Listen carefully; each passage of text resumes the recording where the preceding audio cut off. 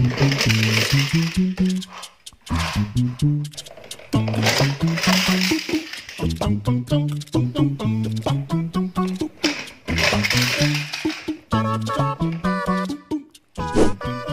teman-teman, sebelum kalian nonton video ini, jangan lupa klik subscribe dan tombol loncengnya ya, agar kalian tidak ketinggalan video-video terbaru dari kami.